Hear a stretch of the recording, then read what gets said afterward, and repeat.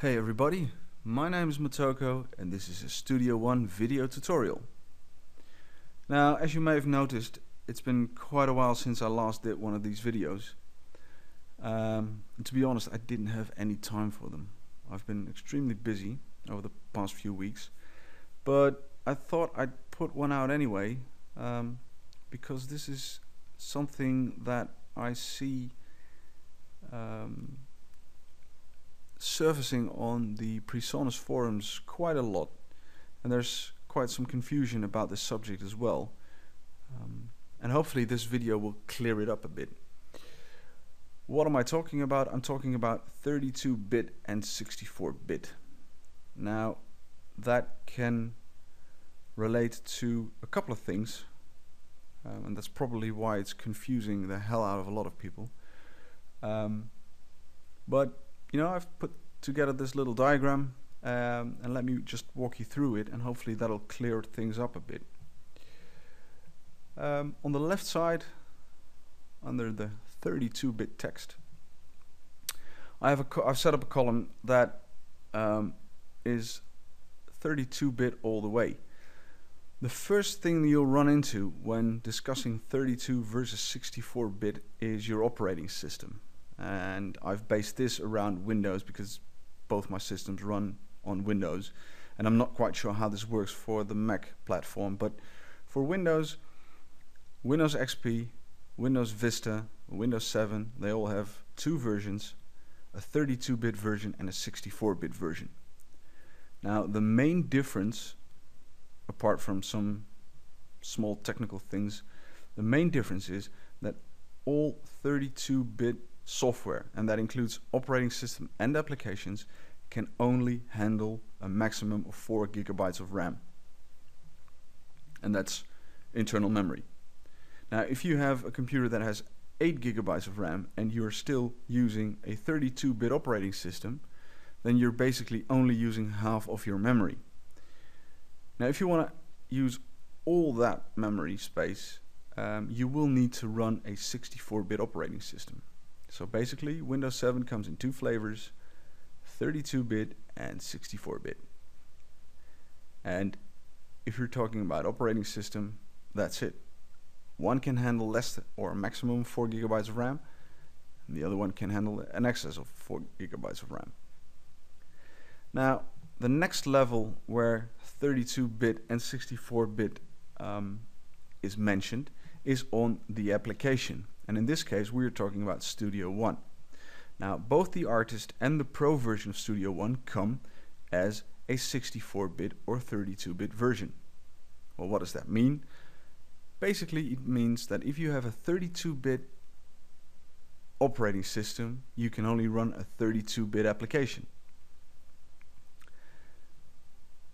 If you have a 64-bit operating system you can run a 64-bit application and this middle column I'll get to that in a bit. Now there's another level where the whole 32 versus 64 bit discussion takes place and that's in the plugins. Now Studio One does not have a built-in bit bridge. And what does that mean? That basically means that if I have the 32-bit version of Studio One I can only use 32-bit plugins. If I have the 64-bit version of Studio One I can only use 64-bit plugins. As you can see right here, 64, 64, 64, 86, which is basically 32 uh, in terms of, of bit. Um, again, 32-bit application, 32-bit plugins. Now that's all pretty straightforward. Now we get to two things that are a bit confusing or where it starts to get a bit shady. One of the main things that are causing confusions is the is this thing called the audio engine. Now any version of Studio One Pro and that can be a 32-bit version or a 64-bit version can have its audio engine run either on 32-bit or 64-bit. Now, I know this sounds confusing, but look at it this way. In the heart of Studio One lies the audio engine. And the audio engine does a lot of calculations on audio information. Let's say I'm running at 32-bit inside the audio engine. That means that I can do calculations, for example, in integers. That means I can do 2 times 2 equals 4. Now, although the calculations accurate, are accurate, um, there's not much detail in those calculations because I'm working with whole numbers. What happens if I switch the internal workings of the audio engine to 64-bit precision? That means I get a whole range of detail I can use in my calculation. And instead of using 2 times 2, I can do calculations, for example, like 2.15 times 2.34769. And that gives me a much more detailed result. Now, why would you want to use 64-bit precision in your audio calculations? Um, there's not a big chance that you're actually going to hear the differences. But the main advantage of having a more detailed calculation is that you are less likely to run in miniature faults or miniature errors in the audio information. Let's just say that the calculation precision of the audio engine has nothing to do with the operating system. It has nothing to do with Studio One 32 or Studio One 64-bit version. And it has nothing to do with 32-bit plugins or 64-bit plugins. The audio engine precision has only to do with the audio precision. Um, and it is confusing because they also indicate the precision with 32 and 64 bit, but that is actually a different discussion than what we have here in the operating system and host. You can also compare it a bit to the term 90 degrees. Now 90 degrees can mean 90 degrees in temperature, but 90 degrees can also mean 90 degree angle of a corner. Now, in both situations, you call it 90 degrees because that's what it is, but it means basically something different. And that's also what's happening here. Um, again, this has nothing to do with your operating system or the version of Studio One you're running um, bitwise, uh, because this 30 uh, this 64-bit precision is only available in the Pro version of Studio One, but it has everything to do with the precision of the calculations and the detail of the calculations that are done by the audio engine. So hopefully this clears this up a bit. Now there's one column that I really didn't go into all that uh, detail yet, and that's this column. Because what's happening here, I have a 64-bit operating system, but I have a 32-bit host. Now, on Windows, if you are running the 64-bit operating system, you can run either 64-bit or 32-bit applications. The 64-bit applications, just like the 64-bit operating system, can address more than 4 gigabytes of RAM. The 32-bit application has the same limitations as any 32-bit program and that it can only use 4 gigabytes of RAM. But, like we saw in the example on the 32-bit host uh, operating system, if you are running a 32-bit version of Studio One, you can only use 32-bit plugins.